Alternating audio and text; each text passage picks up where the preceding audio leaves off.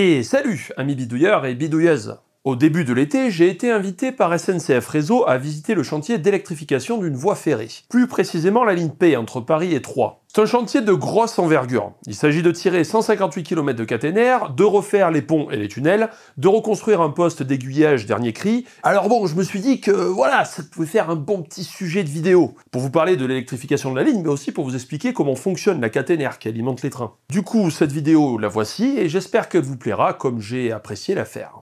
Bon visionnage.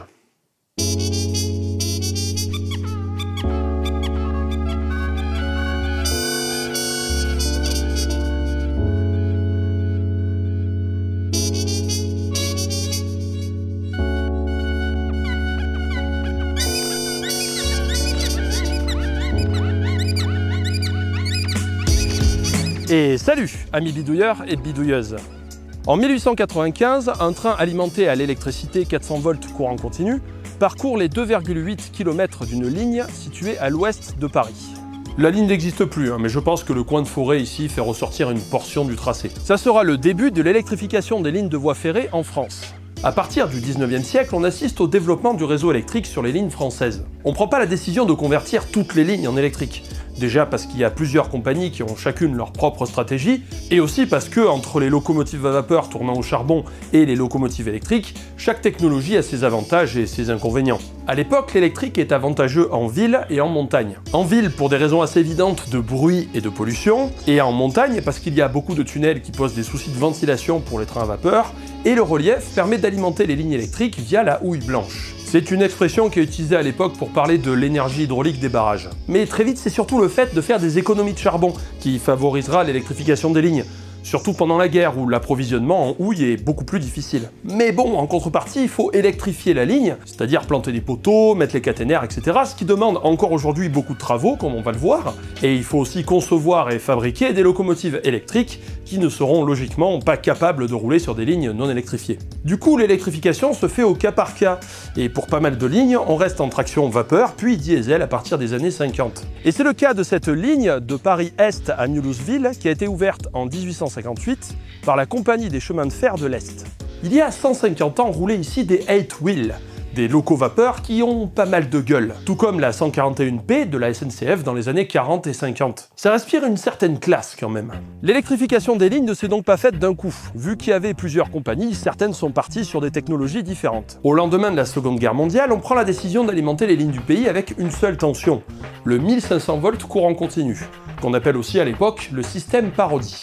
En 1938, les compagnies disparaissent au profit de la SNCF. Le train est devenu un service public et l'opérateur unique décide de continuer à électrifier les lignes pour diminuer sa dépendance au charbon. Jusque dans les années 50, le 1500 volts continu est donc la norme et des dizaines de lignes sont électrifiées. Les lignes sont alimentées par des centrales électriques construites pour les chemins de fer qui appartiennent à la SNCF. Dans la seconde moitié du XXe siècle, pour ne plus avoir produire de l'électricité spécifiquement pour les trains, on décide de rendre les lignes électriques compatibles avec le réseau électrique national. On passe donc au courant alternatif 50 Hz. C'est le fonctionnement du réseau électrique classique. Le courant est alternatif. Cela vient des bobines des générateurs des centrales électriques qui baignent dans un champ magnétique variable correspondant à la vitesse de rotation. Ainsi, si on visualise la tension du réseau, on obtient le mouvement circulaire du générateur décomposé dans le temps. Cette courbe, que vous avez sans doute déjà vue, s'appelle une sinusoïde, et j'en parle plus en détail dans mon épisode sur le triphasé. En Europe, elle effectue un cycle complet en 20 millisecondes.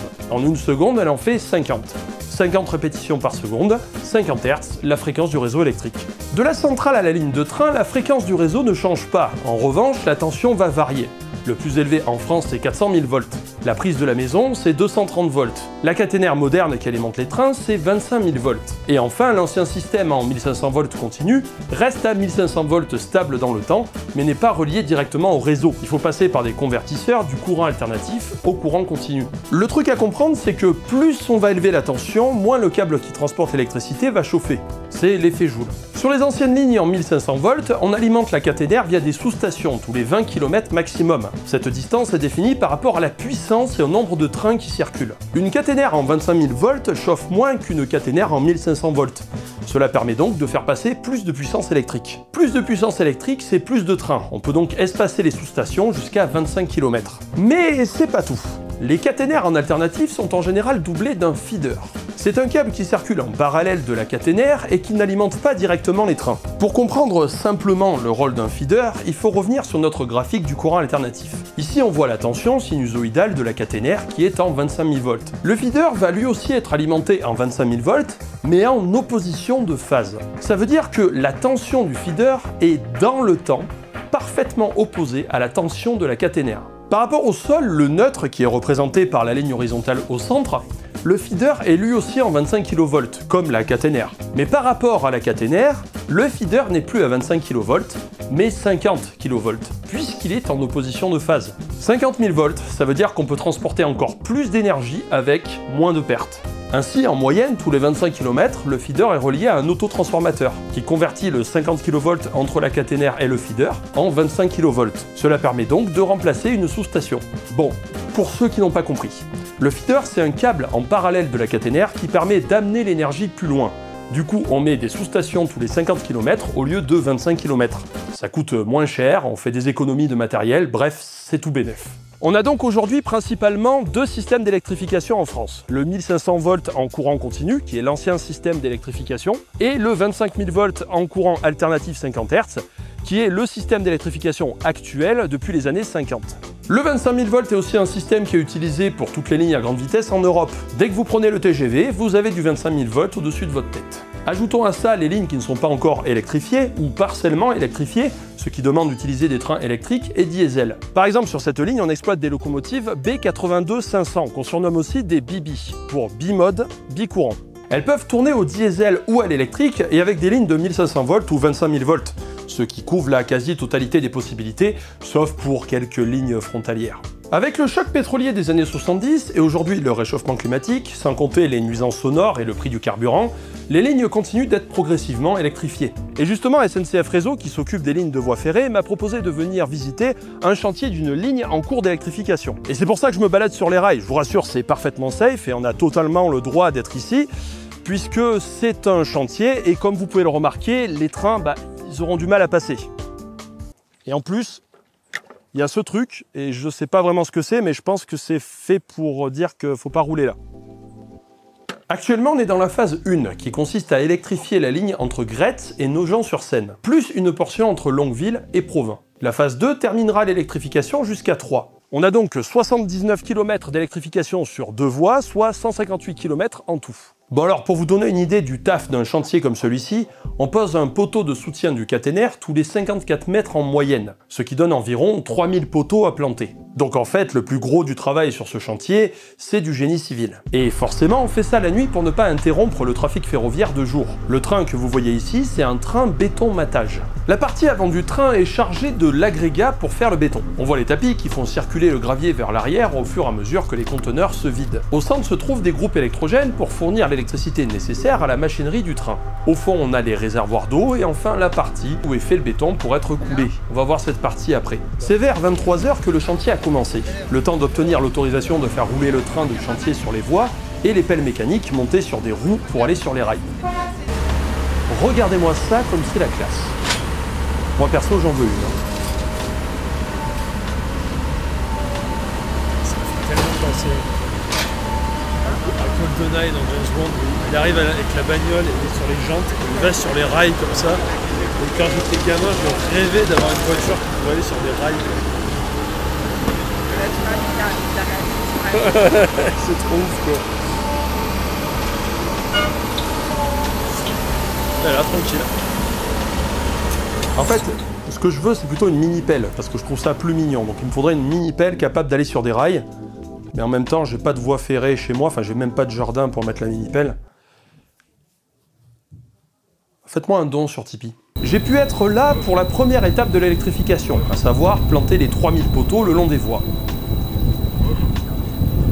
Les câbles viendront bien plus tard. On travaille de nuit et on mobilise des dizaines d'ouvriers spécialisés et un bon paquet de matos. Autant vous dire que tout est optimisé pour poser le plus de poteaux possible à chaque session. Bon alors, ça paraît tout con hein, de planter des poteaux, mais on a des milliers de trains de plusieurs centaines de tonnes qui vont passer à quelques mètres. Donc il faut que ça soit un minimum solide, vous voyez Les poteaux sont d'abord déposés aux endroits indiqués, puis vient une pelle équipée d'une tarière, moyen efficace pour faire un trou propre et rapidement.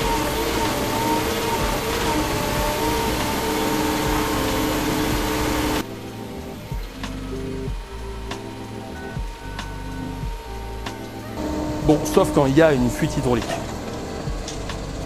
Ils ont pu repartir. Une fois le trou fait, une autre pelle passe avec une équipe qui cale le poteau en vue de couler le béton. Ici, l'objectif est de caler le poteau pour que rien ne bouge pendant les 24 heures qui suivront, le temps que le béton prenne. Puis ensuite vient le train qui transporte le sable, l'eau et le ciment. Il fait directement le mélange sur place, au bon dosage, et coule directement au pied du poteau. Une sorte de bétonnière sur rail, si vous voulez. Là, on a le béton tout frais au pied du poteau qui est tenu par des étés sur les côtés. Et au bout de 24 heures, on enlèvera les étés quand le béton sera sec et on recouvrira de terre la base. Une fois les poteaux posés, ça sera le tour de la caténaire. La caténaire en elle-même, la partie qui transmet l'énergie au train, est un fil de cuivre d'une section de 107 mm. Pour comparaison, le fil d'une prise de courant classique fait 2,5 mm. À la louche, un câble de cette section peut faire passer plus de 500 ampères. À 25 000 volts, on est sur une puissance d'environ 12 MW. Avec cette puissance, on peut faire chauffer 8000 grilles pain ou jouer simultanément à 73 000 PS4 ou faire rouler des trains. Après tout, c'est fait pour. Hein. Un câble de 107 mm sur toute la longueur de ligne qui est en train d'être électrifiée, ça fait à peu près 150 tonnes de cuivre à tirer le long de la ligne. Le câble n'est bien sûr pas seul, il est soutenu par un câble porteur via des pendules. Ce système permet de maintenir le fil de contact parallèle au sol tout le long de la ligne. Le maintien du câble parallèle est important pour que le pantographe du train ait un bon contact. Et tout ce beau monde est à une hauteur comprise entre 4,3 et 6 mètres. Ça veut dire que si on veut électrifier une ligne, il faut pouvoir passer la caténaire à une bonne hauteur. Sur la ligne P, c'est le cas du tunnel des Bouchots, qui en l'état actuel pose souci, car il est trop bas pour pouvoir faire passer une caténaire. En même temps, il date du 19e siècle, hein. à l'époque les contraintes n'étaient pas les mêmes, donc euh, voilà.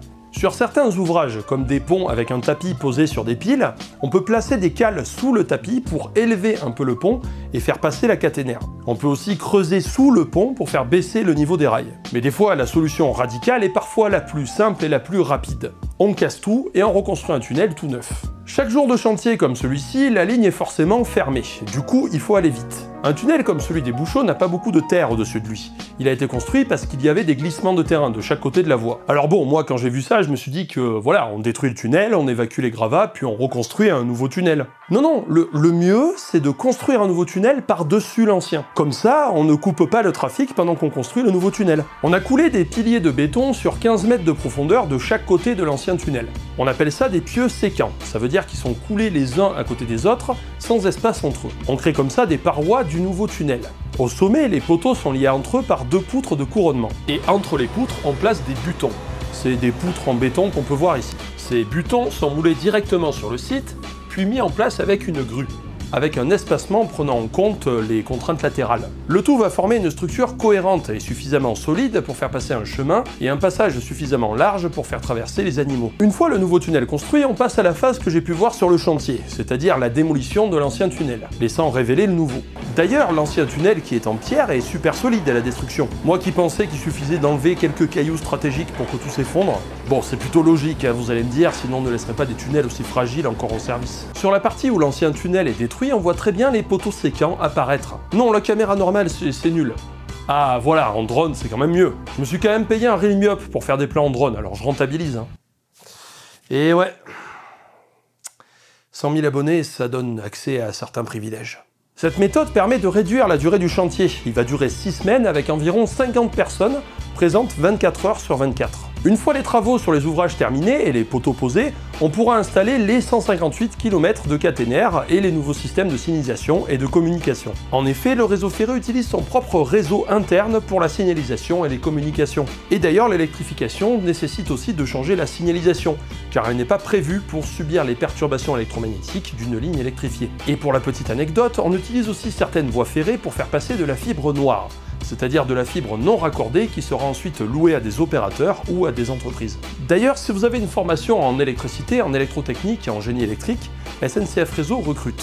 Pas uniquement pour l'électrification de la ligne P, hein, pour l'ensemble du réseau, parce que le réseau ferré emploie beaucoup de gens dans les métiers de l'électricité. En plus, il y a de la grosse puissance avec les caténaires, il y a aussi des systèmes de communication, la signalisation, etc. Enfin bon, il y, y, a vraiment de quoi faire. Si ça vous intéresse, un forum des métiers est organisé en septembre. J'ai mis les liens et les infos dans la description. Les travaux d'électrification de la première partie se termineront en 2021. Un chantier de grosse envergure donc pour électrifier une ligne avec beaucoup de trafic. On prend souvent pour acquis certaines choses comme l'électricité à la maison, l'eau courante, le colis qui arrive le matin, le balai incessant des trains dans les gares, l'énorme système qui est le réseau ferré qui fait partie du paysage. Mais quand on le voit en train de se faire, de, se construire, on se rend compte de la complexité et de l'investissement qu'il faut pour construire ces réseaux. Et derrière des choses aussi triviales que des caténaires pour alimenter en électricité des trains, y a une histoire qui détermine la structure du réseau et au final, son utilisation et sa forme. Histoire que je vous ai résumée rapidement, mais on y reviendra peut-être un jour. Et donc j'espère que cette vidéo, qui en plus de parler de technique vous montre directement le chantier et les choses en vrai, vous aura plu. Et que vous verrez les lignes électriques de chemin de fer sous un œil nouveau. C'est aussi ma première vidéo en partenariat. SNCF Réseau m'a proposé de venir voir les chantiers et de parler de l'électrification. Et je les remercie pour ça parce que ça m'a permis de montrer des choses que je n'aurais pas pu filmer autrement. Et j'ai appris plein de choses. Enfin, c'était très intéressant. Le domaine des trains, je connaissais pas très bien, alors du coup, je me suis plongé et j'ai découvert plein de choses. J'espère pouvoir vous proposer dans l'avenir d'autres vidéos où je parle de technique ou de patrimoine technique, tout en vous montrant concrètement les choses. Hein, ça a quand même plus de gueule, quoi. Donc dites-moi ce que vous en pensez dans les commentaires et si vous avez aussi des précisions à apporter par rapport à ce que j'ai dit et, aux explications que j'ai amenées, parce qu'il y a certaines choses que j'étais obligé de simplifier et forcément je ne pouvais pas parler de tout. Je vous remercie encore une fois SNCF Réseau de m'avoir permis de faire cette vidéo et je vous dis salut amis bidouilleurs et bidouilleuses.